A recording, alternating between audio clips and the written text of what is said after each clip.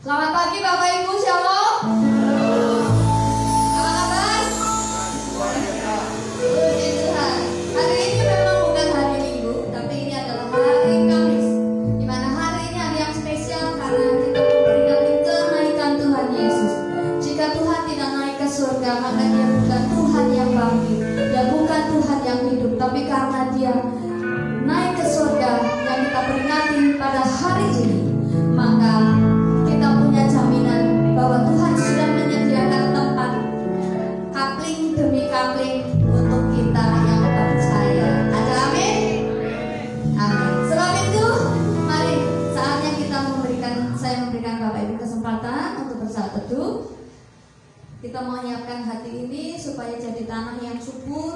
sehingga ketika Tuhan Roh Kudus bekerja kita dapat menang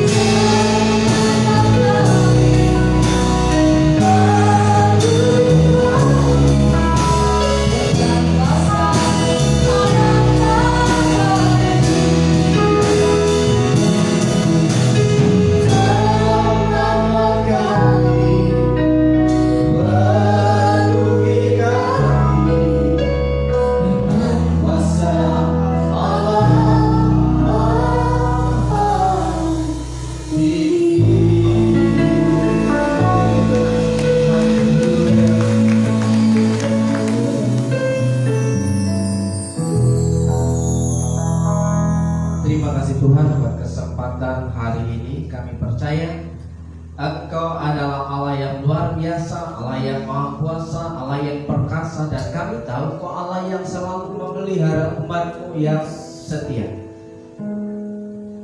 Hari ini Tuhan kami mau menikmati kebenaran firman dan kami ingin tahu dan ingin melihat kuasamu nyata bahwa firmanmu itu iya dan amin. Amin.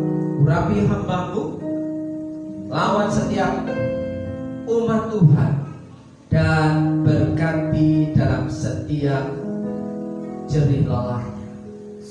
Terima kasih Bapak di surga dalam berkat nama Yesus saudara percaya bahwa Tuhan Allah kita adalah Allah yang mengherankan katakan. Amin. Amin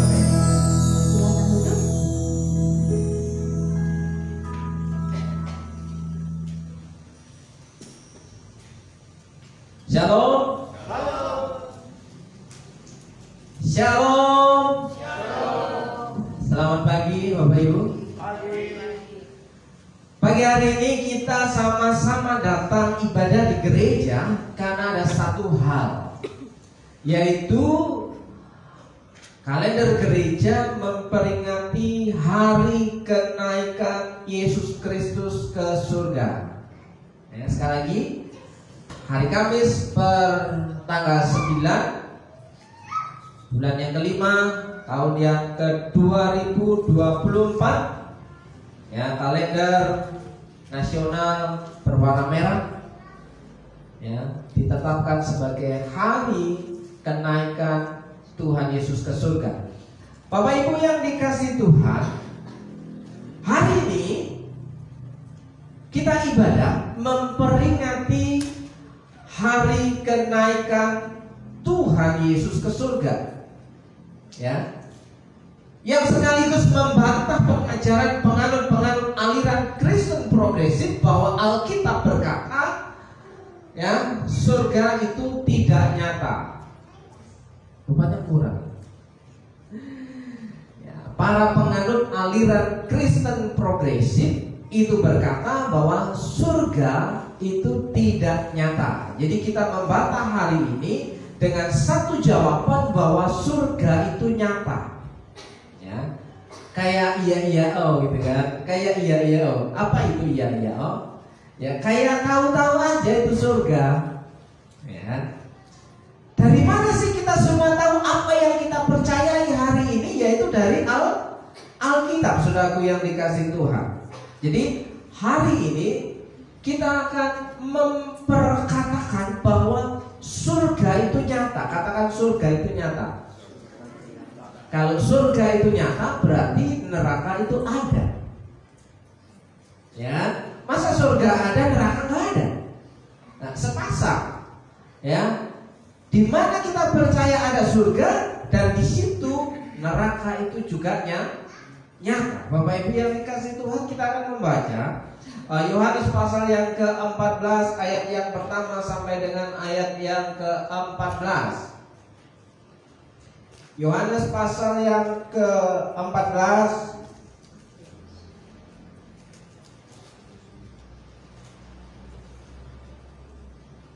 Ayat yang pertama sampai dengan ayat yang ke-14 Saya membacakan ayat yang ganjil Bapak Ibu dan Saudara membaca ayat yang genap Alkitab kita yang diterbitkan oleh Lembaga Alkitab Indonesia Dan memberikan judul Rumah Bapa Ya, rumah Bapak itu bukan suatu suasana. Rumah Bapak itu bukan satu khayalan, tapi rumah Bapak adalah nyata, Bapak Ibu. Ya, firman Tuhan berkata Yohanes 14 ayat pertama, janganlah gelisah hatimu, percayalah kepada Allah, percayalah juga kepadaku. Dua, Di rumah Bapakku banyak tempat tinggal. Ketika demikian, telah aku katakan kepadamu, sebab aku pergi untuk menyediakan tempat.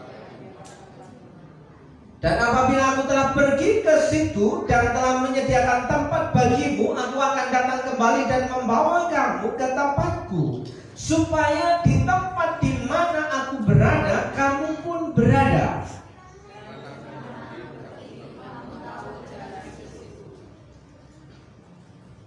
Karena Thomas kepadanya, Tuhan, kami tidak tahu ke mana engkau pergi, jadi bagaimana kami tahu jalan ke situ?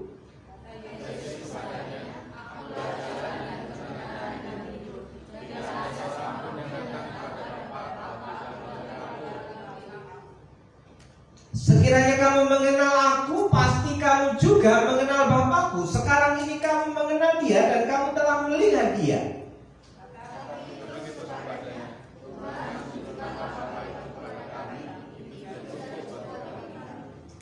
Kata Yesus kepadanya, telah sekian lama aku bersama-sama kamu Filipus, namun engkau tidak mengenal aku. Barang siapa telah melihat aku, ia terlihat ia telah melihat Bapa. Bagaimana engkau berkata, tunjukkanlah Bapa itu kepada kami.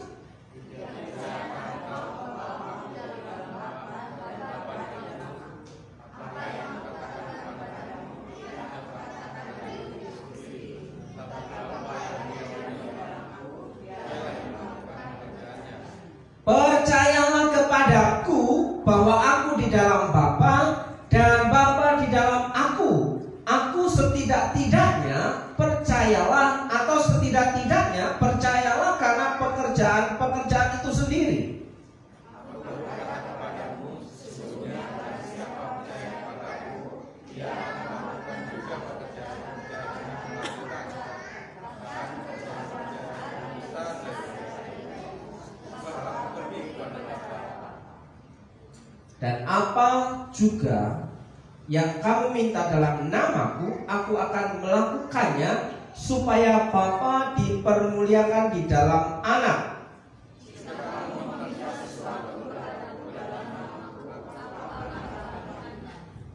Percayakah engkau akan hal ini? Ayat 14 penutupnya berkata, jika kamu meminta sesuatu kepadaku dalam namaku, aku akan melakukannya. Pertanyaannya meminta di situ ya eh, merujuk kepada apa yang kita minta. Bapak Ibu yang dikasih Tuhan, ya. Apa sesungguhnya permintaan yang ada di situ yang diizinkan, yang langsung disetujui, yang langsung di ACC oleh Tuhan. Ya. Apa saja? Apa saja? Jika kamu meminta sesuatu kepadaku dalam namaku, aku akan melakukannya. Apakah permintaan ini berbicara tentang kebutuhan kehidupan kita sehari-hari? Apakah permintaan di sini berbicara tentang kesulitan kita? Apakah permintaan di sini berbicara tentang oh Tuhan, jamah ya sembuhkan sakit penyakitku? Apakah merujuk ke situ atau sebuah permintaan yang lain sehingga apa saja yang kita minta kepada Tuhan dalam nama Yesus itu dikabulkan oleh Tuhan. Jadi apa yang sebenarnya yang seharusnya kita minta? Ada hubungannya dengan apa? Eh, di sini ketika Yesus mau naik ke surga dia punya pesan seperti itu sehingga ada banyak murid di situ yang pada waktu itu tidak paham, tidak mengenal kepada siapa ia percaya, kepada siapa ia punya guru, kepada siapa ia punya Tuhan. Sehingga satu orang yang bernama Filipus berkata, Tuhan tunjukkanlah Bapak kami itu kepada kami. Bapak itu kepada kami. Ya. Kira-kira wajar nggak pertanyaan Filipus? Ya, kira-kira wajar nggak? Keinginan Filipus ini? Ya wajar dong kan aku ingin lihat siapa bapaknya. Kan gitu kan? Iya kan? Wajar nggak? Ingin tahu Mengenal. Oh Soso ini punya bapak itu siapa? Ya kan? Nah. Tapi Yesus berkata di situ Jika kamu melihat aku kamu sudah melihat bap Bapa. Karena Yesus itu representatif. Atau dengan kata lain Yesus itu gambaran Bapa yang di surga yang tidak kelihatan yang telah turun menjadi manu, manusia. Sudah yang dikasih Tuhan. Oleh sebab itu hari ini kita mau mengatakan Bapak itu tinggalnya di mana Ya, Bapak itu tinggalnya di mana? Bapak kita tinggalnya di surga.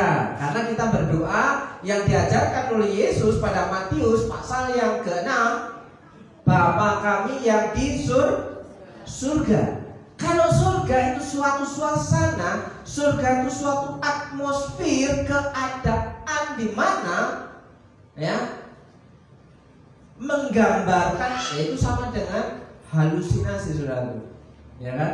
Wah kita seperti ada di surga. Imajinasi. Ya tapi di sini menunjukkan bahwa Bapak itu tinggal di surga. Nah kalau kita mau tinggal bersama dengan Bapa di surga, kita harus ya punya akses, punya akses. Katakan akses. Akses itu adalah jalan masuk. Ya, kira-kira Bapak Ibu tiba-tiba mau menghadap presiden. Kalau tidak ada akses, tidak ada jalan masuk, saudara, Bapak Ibu bisa nggak masuk ke istana kepresidenan? Enggak. Ya kan? Kalau Bapak Ibu kira-kira mengajukan permohonan, kira-kira permohonan Bapak Ibu untuk masuk ke istana kepresidenan itu langsung di ACC atau diverifikasi? Diverifikasi. Ya kan? Diverifikasi. Itu belum tentu di ACC, Bapak Ibu. Tapi kalau Bapak Ibu mau masuk ke istana presiden, ada itu datang menjumpai Bapak Ibu Saudara dan Bapak Ibu Saudara diperintahkan ikut aku di belakang.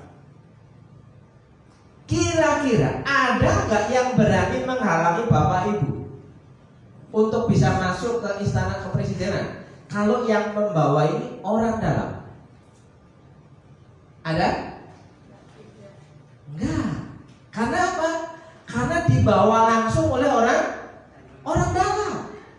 Nah, Bapak Ibu yang dikasih Tuhan, Bapak Ibu itu orang yang istimewa. Karena apa? Langsung dijumpai oleh ordan. Orang dalam surga sendiri datang menjumpai Bapak Ibu Saudara untuk membawa Bapak Ibu dan Saudara ke tempat di mana Bapak di surga. Nah, Bapak Ibu yang dikasih Tuhan, per hari ini perkenaikan Yesus ke surga kita paham dan kita tahu dengan pasti dari Alkitab bahwa surga itu nyata. Begitu juga dengan neraka itu nyata. Bapak Ibu yang dikasih Tuhan. Nah, Bapak Ibu, kalau kita berbicara tentang surga, nah, surga itu gudangnya berkat. Percaya? Surga itu gudangnya berkat. Percaya? Nah, pertanyaannya, apakah kita perlu ya meminta itu berkat? Kalau Bapak Ibu sudah derek langkung ya ordal yang tadi yang punya kuasa masuk masuk ya kan tinggal jawil aja ya. Tinggal jawil aja. Ya. Masa sih? Sudah ngikut sehari Bapak Ibu? Kalau Bapak Ibu mengajak seseorang satu harian penuh untuk mengikuti Bapak Ibu mungkinkah orang yang Bapak Ibu ini akan mengalami kelaparan? Apakah Bapak Ibu akan memperhatikan mulai dari dia mau hauskah, laparkah, makankah, perlu istirahatkah? Apakah itu Bapak Ibu akan perhatikan? Ketika mengajak seseorang, ya, mengikuti atau membawa seseorang bersama dengan Bapak Ibu dan saudara. Apakah saudara akan mengabaikan bahwa seperti kalau juragan yang egois, ya, juragannya masuk rumah makan, ya makan dengan kenyang tuan dan nyonya ya asisten rumah tangganya atau supirnya masih ada di mobil atau asisten atau baby sistemnya masih ngomong anaknya dibiarin aja Juragan tuan dan nyonya enak-enak makan sampai kenyang. Oh, eh, oh, eh. Padahal sama bahwa orang yang bersama-sama dengan dia punya perut yang sama yang mengalami lapar. Apakah ya kalau bapak ibu dan saudara menjadi tuan dan nyonya di situ akan membiarkan itu supir tetap udah jaga mobilnya nanti jangan. Sampai lecet. Awasi itu tukang parkir. Awasi kalau ada mobil masuk. Terus berkata kepada baby sisternya tolong jaga anakku. Ya tuan dan nyonya mau makan. Ya sampai kenyang gak ingat lagi sama asisten rumah tangganya sama baby sisternya sama sopirnya Kira-kira Bapak Ibu apa yang terjadi dengan orang-orang yang mengikuti seperti ini? Kalau kita juragannya, kita juragannya seperti apa? Majikan seperti apa? Sementara kata Tuhan, ya, kata Lord, ya, itu memiliki makna adalah bos. Tuhan Yesus, ya kan? uh, Jesus is my Lord. Itu artinya apa? Yesus itu bosku. Artinya raja, artinya majikan, artinya apa lagi? Juragan, tuan, ya pokoknya bos lah, ya. Kalau kita punya bos yang baik, pasti akan tahu kebutuhan sopirnya, asistennya, baby sisternya, ya kan? Nah, Tuhan itu lebih daripada semuanya itu, Bapak Ibu yang dikasih Tuhan. Nah, makanya berkat itu turun dan diperintahkan dari surga jika hidup kita apa? Berkenan di hati Tuhan. Ya. Sekali ini prinsip bahwa berkat yang di gudang surga itu turun kalau hati kita itu berkenan, hidup kita itu berkenan di hati Tuhan. Kalau hidup kita tidak berkenan hati-hati Tuhan, bagaimana mungkin Tuhan menurunkan berkatnya? Kira-kira mungkin tidak? Misalnya bapak ibu yang punya kendaraan, punya mobil, punya supir pribadi, ya, terus mobilnya itu dipakai supir keluar jalan-jalan tidak kasih tahu bapak ibu dan saudara. Kira-kira apa yang bapak ibu pikirkan dengan supir itu? Kira-kira apa?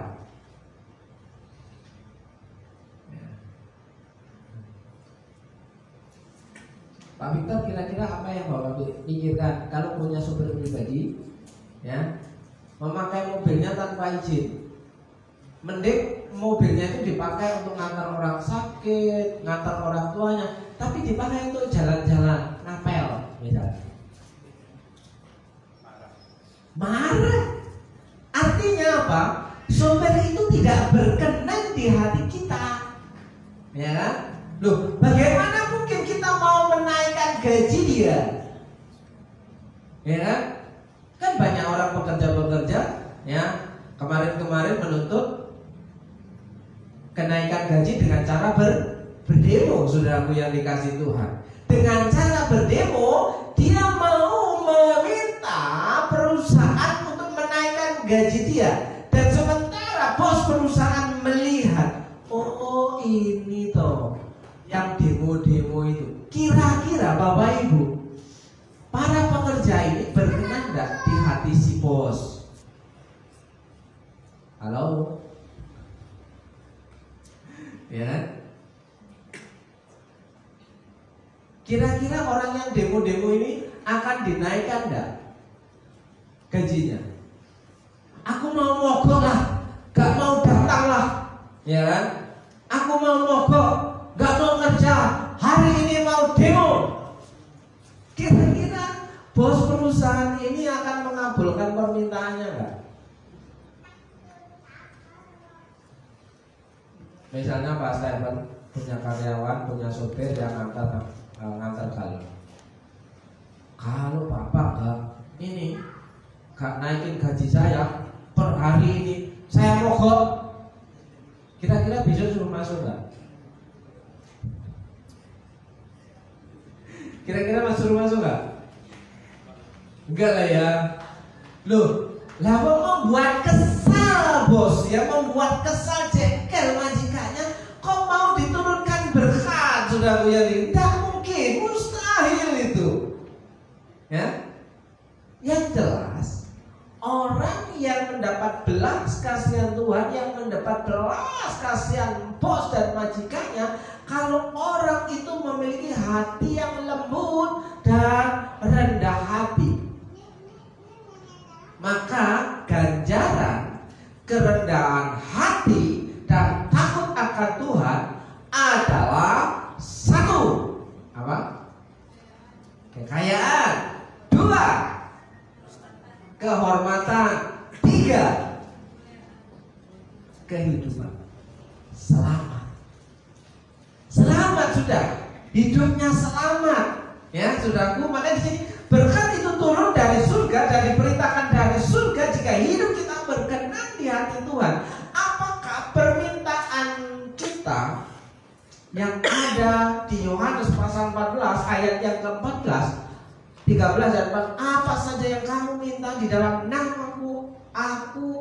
mengabulkannya apakah itu yang dimaksud saudaraku?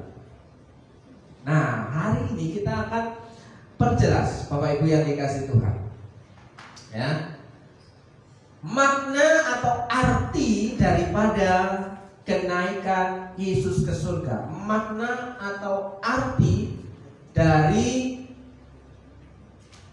kenaikan Yesus ke surga. Bahwa yang pertama itu Yesus menyediakan tempat.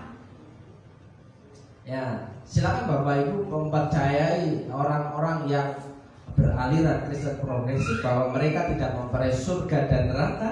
Berarti Bapak Ibu setelah ini hilang begitu saja. Ya. Dan Bapak Ibu yang percaya kepada Yesus ya Yesus ya sudah menyediakan tempat.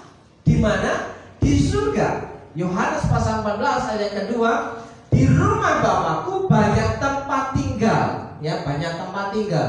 Gak usah ngapling-ngapling surga. Ya ini hanya untukku untuk keluargaku untuk saudaraku kayak bansos. Ya. Di rumah Bapakku banyak tempat tinggal. Jika tidak demikian tentu aku mengatakannya kepadamu sebab aku pergi ke situ ke situ mana itu menunjukkan tempat Bapak ini jelas tempat tinggal. Ini jelas pergi ke situ pergi ke suatu tempat ke suatu lokasi untuk menyediakan tempat bagimu. Jadi bagi orang yang percaya kepada Tuhan Yesus sebagai Tuhan dan juru selamatnya aman sudah. Ya aman sudah Lalu kalau sudah aman jangan terlalu nyaman Bapak Ibu. Ya, sekali kalau sudah aman jangan terlalu nyaman sehingga tidak tahu mau lagi tentang apa kemauan Tuhan. Yang jelas permintaan itu harus sesuai dengan hati Tuhan. Diperkenan di hati Tuhan. Apa yang pertama? Makna kenaikan Yesus ke surga yang pertama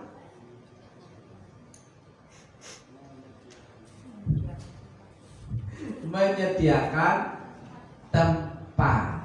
Jadi surga itu nyata. Surga itu tempat. Surga itu lokasi, bukan seperti uh, oh ini kita seperti ada di surga. Imajinasi saja tentang surga. Dan pastikan Bapak Ibu Kematian itu juga hal yang pasti Pertanyaannya Kalau hari ini kita mati Kita mau ke mana? Kalau surga itu nyata berarti neraka itu juga nyata. Hanya ada dua tempat pasca kematian. Bapak Ibu kematian tidak berbanding lurus dengan berapa jumlah usia, berapa jumlah umur. Karena kematian tidak dibatasi oleh harus tua. Ya, kan? bahkan ada orang yang sudah tua-tua juga gak mati bukan itu maksudnya ya Orang yang muda pun terkadang sudah dipanggil bu pulang. Saudara yang dikasih Tuhan. Nah, hari ini Bapak Ibu yang dikasih Tuhan, pastikan bahwa Bapak Ibu ketika kita memperingati hari kenaikan Yesus, Bapak Ibu mendapatkan satu garansi, satu jaminan bahwa saya sudah punya tempat di surga. Amin. Saya sudah punya tempat di surga. Wah, kayak tahu-tahu aja. Lo ya Yesus yang ngomong kok. Siapa sekarang yang Bapak Ibu percayai? Ayo, siapa yang Bapak Ibu percayai untuk nasib masa depan Bapak Ibu? Kalau Yesus ngomong sudah nggak percaya, berarti dia termasuk aliran Kristen progresif. Karena apa? Alkitab tidak mutlak kebenarannya. Maka hari ini sekaligus membantah pengajaran Kristen pro progresif. Bapak Ibu yang dikasih Tuhan. Oke, Bapak Ibu yang dikasih. Yang kedua, yang kedua, makna kenaikan Yesus ke surga adalah memberikan kuasa untuk bersaksi. Kisah para Rasul pasal dalam 1 ayat 8 ya, tetapi kamu akan menerima kuasa. Nah, apa hubungannya dengan uh, Yohanes pasal 14 ayat 13 dan ayat 14? Apa saja yang kamu minta dalam namaku, maka aku akan memberikannya kepadamu. Yang diminta harusnya kuasa, ya, bukan duit. Ya, Tuhan Yesus, aku minta duit, gitu kan? Itu sama aja kayak uh, anak kecil ketika melihat pesawat terbang di atas atap rumahnya, ya kan? Biasanya budaya itu anak-anak itu teriakannya apa? Jangan duit. Kira-kira masa ada duit jatuh dari pesawat? Ya kan? Nah, Ibu yang dikasih Tuhan, hari ini kita tahu bahwa kenaikan Yesus ke surga memberikan makna bahwa Tuhan itu memberikan kuasa. Kalau Bapak Ibu membaca di Injil Matius dan Markus, sebelum masuk ke Markus, Markus itu ya kamu akan diberikan kuasa untuk bisa me menginjak kala jengking. Ya. Kalau Bapak Ibu nggak ada apa-apa, terus nyari kala jengking di, di apa kaki Bapak Ibu di top-top itu namanya kurang kerjaan. Lu iya toh? Wah nggak ada apa-apa kok nyari masalah. Ya, ulo marani gepuk ya. Kamu akan menginjak kala jengking. Ya, kan? kamu akan meminum racun ular dan kamu tidak akan mati. Nyari bisa ular. Itu mereka kerjaan konyol banget. Kok nggak ada apa-apa. Iya kan? Nah, kuasa untuk ber saksi Bapak Ibu yang dikasih Tuhan. Kita bersaksi itu butuh kuasa nggak sih? Atau kita punya keberanian bersaksi kepada orang lain bahwa apa yang kau percayai, apa yang kau alami, itu Bapak Ibu berani berkata jujur kepada orang lain atau Bapak Ibu buku serapi-rapinya supaya orang lain tidak tahu identitas saudara ya ketika saya masuk ke orang-orang uh, seperti orang jalanan bapak ibu yang dikasih Tuhan. Ya. Pada awalnya mereka tidak tahu kalau saya itu seorang pendeta. Ya. tapi bapak ibu lama-lama mereka akan tahu siapa saya dan mereka tidak akan menjawab. Kenapa? Karena saya tidak malu dengan kondisi saya. Ya. Pada waktu saya masuk ke ruang karaoke, ya, pendeta sama ini karaoke kan keren. Ya. Masuk ke ruang karaoke, tahu pada akhirnya bahwa saya orang pendeta, saya tetap berpakaian seperti saya jumpa dengan mereka. Yaitu apa? Pakai celana pendek, pakai rompi kebesaran.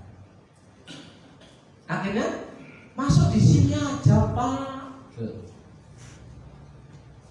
Dan ketika saya melayani, jumpa dengan seorang sahabat yang sudah meninggal pada waktu itu, ya. Ketika saya jumpa dengan dia, saya uh, mengenalkan sebagai profesinya sebagai tukang rongsok. Hari-hari bersama dengan dia, nongkrong bersama dia, ngobrol bersama dia, Bapak Ibu. Pada waktu matinya pun, saya datang melayani dia dalam pasca penghiburan keluarga. Saya juga berpakaian seperti tukang rongsok.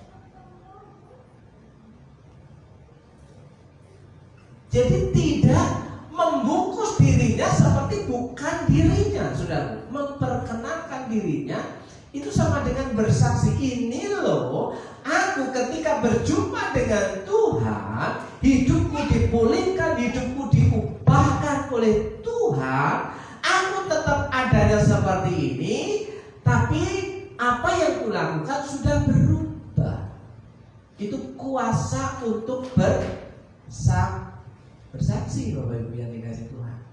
Nah, kalau Bapak Ibu belum punya keberanian untuk mengenalkan diri ke dunia, Bapak Ibu belum memiliki kuasa itu. Makasih apa saja yang kamu minta ya dalam nama aku akan memberikan mintalah kuasa untuk bersaksi itu. Tuhan jadikan aku orangnya berani memperkenalkan diriku kepada dunia. Ini loh aku, walaupun kayak gini-gini, Tuhan sudah tolong aku, Tuhan sudah selamatkan aku.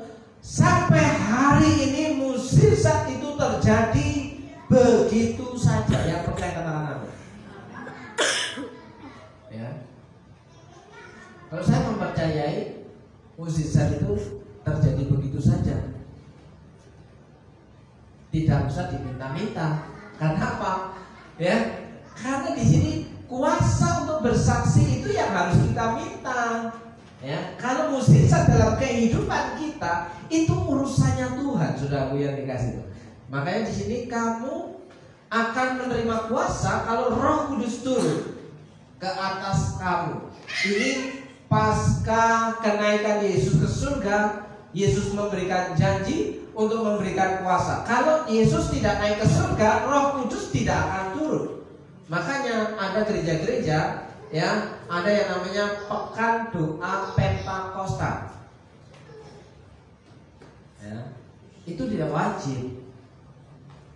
Itu tidak wajib, tapi kebutuhan. Ya. Nah, Bapak Ibu, mulai kapan ada pekan doa Pentakosta? Nanti malam. Jam berapa? 6, 7 Jam 6 gak usah lama-lama Bapak Ibu. Kita berdoa. Sepanjang minggu ke depan Sampai uh, hari Pentakosta Ada apakah doa Pentakosta Silakan Bapak Ibu yang butuh untuk berdoa bersama di gereja. Ah, apa doa di gereja? Di rumah aja kan bisa. Ya silakan. Ya silakan Ibu. Ya, tapi saya mengajak Bapak Ibu untuk ya kalau Bapak Ibu membaca Alkitab orang-orang pasca Pentakosta itu rajin ibadah di gereja, rajin ibadah di bait Allah. Ya, bukan rajin ibadah di rumah. Ya ibadah di rumah itu sudah biasa. Masa di rumah gak ibadah? Ibadahnya cuma di gereja aja, di rumah gak ibadah. Ya, tapi di sini pasca Pentakosta itu orang-orang yang katanya percaya kepada Yesus sebagai Tuhan, ya, yang sudah naik ke surga itu mereka rajin ibadah di bait Allah. Kalau hari ini ibadah di gereja. Makanya Bapak Ibu yang dikasih Tuhan, latihlah dirimu karena ibadah itu latihan. Tidak semua orang suka dengan yang namanya ibadah. Ibadah ah males lah ibadah ah males lah ya makanya di Alkitab latihlah dirimu beribadah perlu latihan. Apa mau dikembalikan ke masa Taurat? Ibadah orang Kristennya, ya diwajibkan. Kalau kita mengikuti ibadahnya siapa yang berdoa tiga kali menghadap so, uh, ke Yerusalem, Daniel tiga kali sehari, ya pagi, siang, malam, ya itu sudah tiga kali sehari itu wajib tidak boleh tidak. Ya setelah itu uh, harus ibadah di bait Allah. Apa mau dikembalikan ke Allah perjanjian lama atau kita enak dalam kasih karunia Tuhan? Loh, ibadah bukan karena terpaksa tapi ibadah karena ucap terima kasih Tuhan untuk kebaikanmu yang ku alami dalam hidupku. Jadi ibadah itu kesenangan, bukan kewajiban sebenarnya. Kesukaan saudara. Maka di sini ibadah itu juga salah satu item dari kuasa untuk bersaksi. Masa orang Kristen nggak pernah ibadah? Ya aku jumpa, ternyata punya ah, agama di KTP Kristen atau Katolik, Bapak Ibu. Tapi sampai hari ini tidak pernah menginjak gereja atau katedral. Ngomongnya lebih rohani dari gereja. Apa kau kira? Ya kan? Kamu berkata puji Tuhan, itu artinya apa? Wih, malah saya diajak berdebat, malah saya diajak berdiskusi, mengartikan arti puji Tuhan. Puji Tuhan itu ya terima kasih Tuhan, haleluya. Kalau menurut saya ya bukan begitu. Loh, Alkitabnya mana orang ini? Ada, ada. Orangnya hidup, hidup. Kalau saya sering ketemu, ngobrol bareng. Nah, saudara, tapi katanya gini, di KTP memang harus ada agama toh? Ya. Katanya, wah, aku punya gereja di Salatiga. Uh, hebat sekali. Punya gereja di Salatiga tapi nggak ibadah. Mendirikan gereja. Ya. Ya yang punya siapa? Masalahnya kan begitu. Nah, sudah punya dia. Apakah dengan begitu ia punya kuasa untuk bersaksi, saudara yang dikasih Tuhan? Enggak, karena dia hanya uh, mau dengan dirinya sendiri, tidak mau diatur oleh Tuhan. Maka di sini orang yang memiliki kuasa bersaksi siap untuk diatur oleh Tuhan dan kamu akan menjadi saksiku di Yerusalem dan di seluruh Yudea dan Samaria dan sampai ke ujung bumi. Anggap saja gambaran kita rohanikan Yerusalem itu adalah rumahmu mulai dari rumahmu ya terus pergi ke Yudea mulai dari gerejamu ya pergi ke Samaria mulai ke kotamu ya kota Samaria sampai ke ujung bumi. Ke ujung bumi. Ya ke mana kamu pergi? Ke ujung bumi bapak ibu. Nggak usah nyari ujung bumi di Ethiopia nggak usah. Ongkosnya terlalu mahal. Ongkosnya terlalu mahal. Sampai ke ujung bumi. Wah saya nggak punya doku Tuhan untuk sampai ke ujung bumi. Nggak usah. Di mana kakimu menginjakkan bumi dan engkau beratapkan langit? Gua nyanyi lagi kan nanti Itulah ujung bumi, kuasa untuk bersaksi. Makna yang kedua, kenaikan Yesus ke surga. Yang pertama, menyediakan tempat. Yang kedua, memberikan kuasa untuk ber, bersaksi.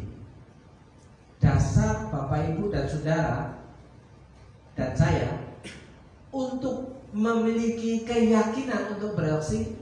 Kenapa? Karena kita sudah menjadi warga kerajaan surga. Ya, Yohanes pasal yang ke-1 ayat yang ke-12 mengatakan demikian. Tetapi semua orang yang menerimanya, menerima siapa? Menerima Yesus yang mati dan bangkit dari antara orang mati hari ini diberangkati naik ke surga, itu menerimanya semua orang yang menerimanya diberinya kuasa supaya menjadi anak-anak Allah. Kalau anak-anak berat dapat warisan enggak? Loh. Berhak dong, kan anaknya.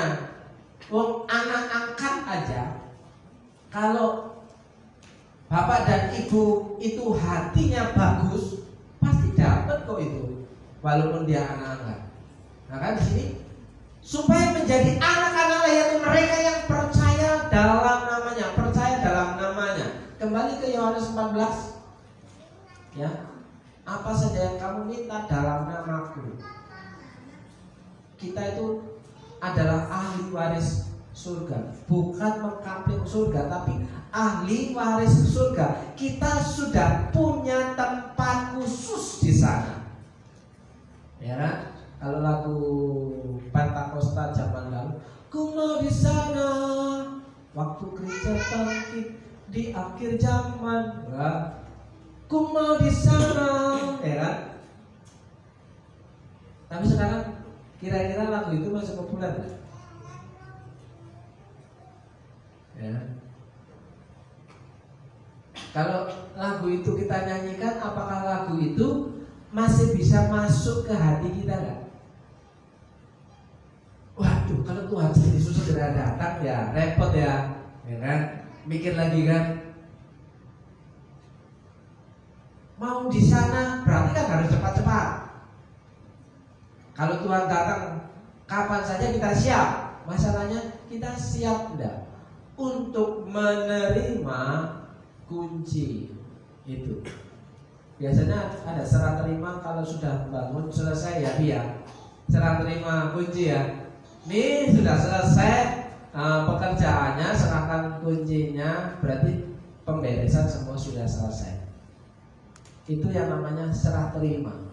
Nah, orang yang percaya dalam nama Yesus sudah mendapatkan serah terima kunci untuk punya tempat khusus di surga.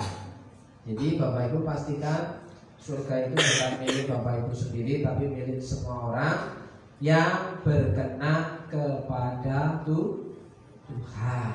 Oke, Bapak Ibu yang ketiga terakhir ya.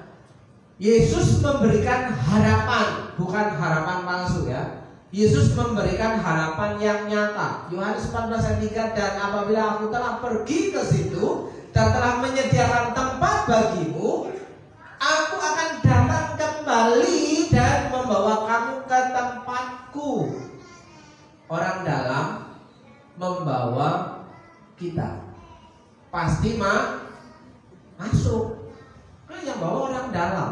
Bapak Ibu yang dikasih Tuhan. Ya. Kayak beberapa malam waktu malam kemarin ketika saya makan malam di luar. Nah, itu yang tukang masa itu uh, kehilangan uh, kehilangan dompet. Biasanya ya. Dompet yang ada isinya kalau pergi ke kamar mandi mau kencing mau BAB dompetnya akan ditang ditaruh. Berarti itu ada isinya. Isinya apa? Lu iya Bapak Ibu kalau kenal orang-orang yang ketika kamar mandi ya ketika ke kamar mandi mau kencing mau BAB dompetnya itu ditaruh. Berarti di dompetnya itu ada isi isinya. Ada jimatnya. Ya. Yang menjaga hidupnya katanya Bapak Ibu. Nah yang jadi masalah. Ketika keluar dari kamar mandi toilet umum dia lupa naruh dompetnya dia pergi nyelonong aja yang ada di dompet itu ada KTP, ada STNK, ada kartu BPJS, ada KIS, ada SIM. Ya, kenapa kamu kok lemes? Waktu gak enak kok pak. Mau hilang kabeh. Ya. Sementara ada anggota di sini yang makan. Aku ngomong, ya tinggal laporan aja toh, bikin laporan kehilangan. Terus bagaimana minta syarat di sini bener Dicapai kali itu, bang ngomong ya apa-apa di Jobono, gak apa-apa, ya kan? Ya kan? Sampai ditulisin. Aku. Yo, banget. Oh, aku malah biasa yang ngomong. Kan harus saya edukasi, ngasih tahu, mengasih saran supaya apa? Datang ke polsek untuk memberikan laporan kehilangan supaya bisa diurus lagi STNK-nya, SIM-nya dikasih edukasi. Kan begitu. Aku sengaja biar ngomong nanti duduk di samping saya. Angkat benar. Loh, kan saya ngomong benar Bapak Ibu. Kalau benar ya berani dong. Dikasih tahu. Kalau jawaban yo bah. Ya kan? Mau ngomong benar. Nah makanya memberikan harapan harusnya memberikan harapan Bapak Ibu memberikan pertolongan, solusi yang terbaik supaya apa? Supaya ketika anak ini kerja, dia tidak lumrah lesulung loyo. Karena apa? Kehilangan semuanya, surat-suratnya hilang. Ya gajinya nggak cukup untuk ngurus bikin SIM, ya ngurus STNK, ngurus KTP, surat-surat itu nggak cukup gajinya untuk nyukup untuk ngurus itu semua ya kan pantesan loyo. Nah, kalau kita terjadi seperti itu, apa yang harus kita kerjakan? Ya. Aku tuh aku punya Tuhan yang besar, ya. Kan? Ya, ya maju. Eh, silakan maju dulu.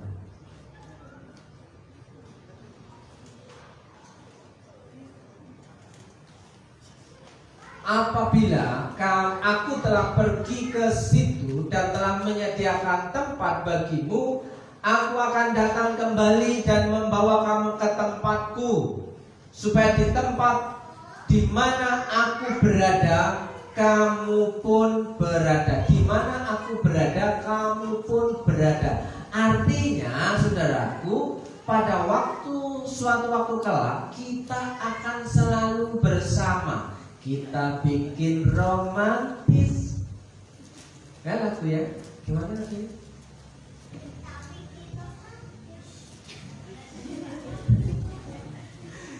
kita bikin romantis ya hidup bersama Tuhan itu romantis loh orang rengut loh loh ya kalau ngomong aku bersama-sama dengan kamu sementara kita nggak bisa senyum sama orang lain toh.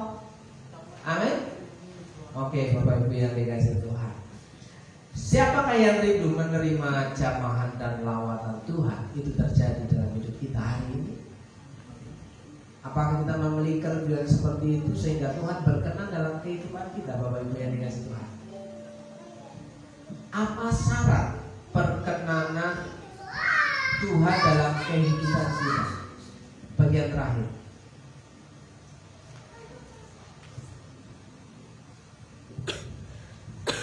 Syarat untuk menerima perkenanan Tuhan adalah mendengar apa yang kita dengar dan melakukan apa yang kita dengar.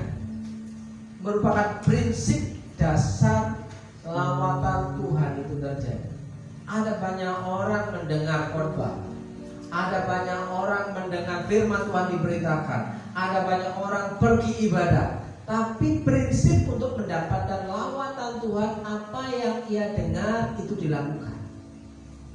Itu prinsip Tidak usah Tuhan Berkatnya mana Tidak usah Ya kan?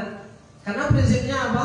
Mendengar untuk melakukan Jika kita mendapat perkenanan Tuhan Malah berkat yang ada di gudang surga itu diperintahkan untuk turun. Jadilah kehendakmu di bumi seperti di surga. Percayakah Bapak Ibu akan hal ini? Amin. Mulailah melatih diri. Apa yang kita dengar? Firman apa yang kita dengar? Kita belajar melakukan. Jadi sepanjang minggu ini saya sudah mendengarkan firman Tuhan ini. Terus bagaimana kita melakukannya, mengaplikasikan dalam kehidupan? Apakah hanya cukup untuk isi otak supaya otak kita penuh dengan firman, tapi cuma ada di otak aja, di pikiran aja, tidak dicoba untuk aplikasi. Bagaimana kita bisa menjadi terang bagi orang lain kalau tidak diaplikasikan firman Tuhan yang kita dengar? Prinsip hari ini, kenaikan Yesus ke surga, Yesus menyediakan tempat. Kalau ada orang bertanya, surga itu ada? Ada. Yang kedua, Tuhan Yesus memberikan kuasa untuk bersaksi. Jika kita hari ini masih takut-takut untuk mengatakan bahwa Yesus itu adalah Tuhan, Lu Tuhan kok mati? Iya, tapi bangkit. Ya, bangkit dari antara orang mati. Dan yang ketiga, kenaikan Yesus Kristus memberikan kita harapan yang baru. Kita hidup bersama dengan Tuhan apa pun yang terjadi, kita tidak perlu risau dan khawatir. Harga telur naik, tetap bisa goreng telur. Telur. Hidup telur.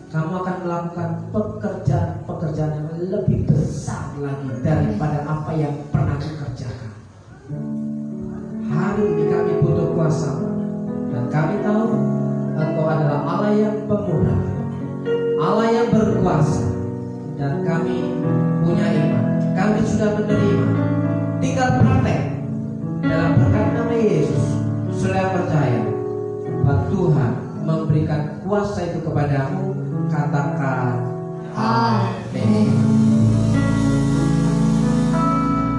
Mari saudara kita Tuhan kita. Amin. Misi Tuhan di bumi sudah selesai. Misi Tuhan Yesus sudah selesai di bumi. Dan bagian kita adalah melanjutkan misi Tuhan itu dengan kita bersaksi. Tuhan sudah memberikan kuasanya supaya kita dimampukan untuk bersaksi.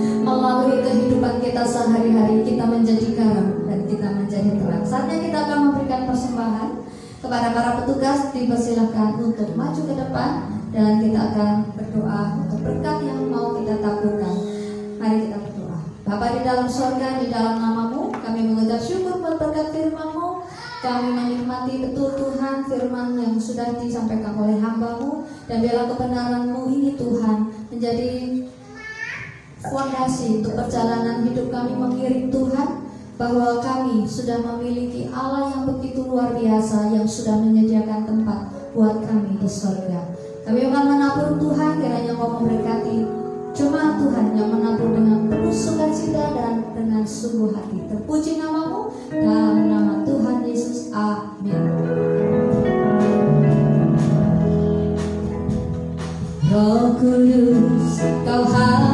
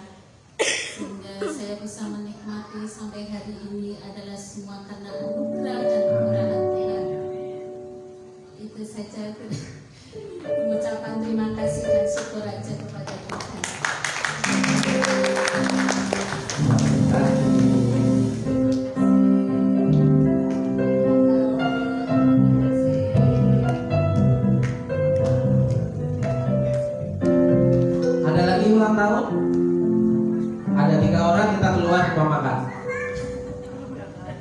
Udah ada ya? Puji Tuhan. Tertolongan hari ini. ya. Bapak Ibu, saya menyebut Bapak Ibu dan Saudara tempat ikuti, kita akan mengakhiri ibadah kita.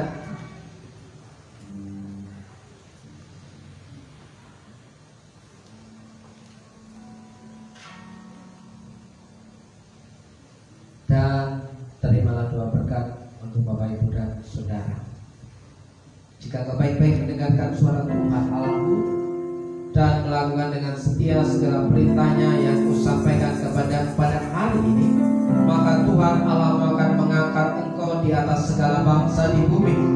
Segala berkat ini akan datang kepadamu dan menjadi bagianmu. Jika kau mendengarkan suara Tuhan Allahmu dalam berkat nama Yesus, Tuhan memberkati engkau dan melindungi engkau. Tuhan menyinari engkau dengan wajahnya dan memberi engkau kasih karunia. Dan memberi damai sejahtera.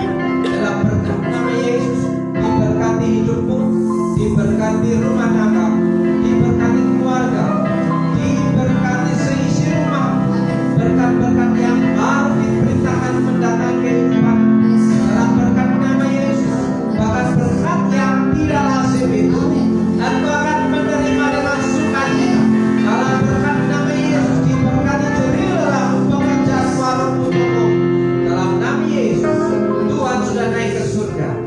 sekarang